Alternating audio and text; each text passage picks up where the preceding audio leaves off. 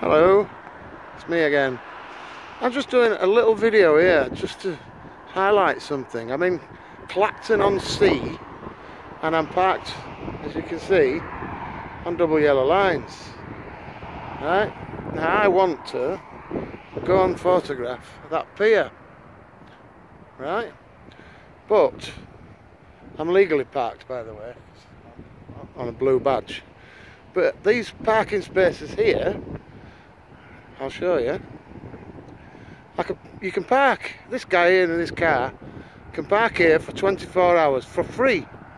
But, if you can read that,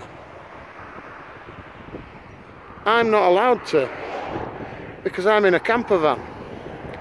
Now these bays go all the way down past that pier and continue for another mile and they do going back the other way. So I've had to park.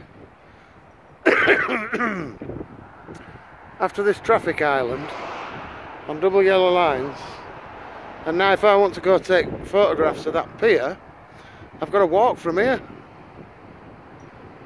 Well I'm disabled. So thanks Clacton on Sea Council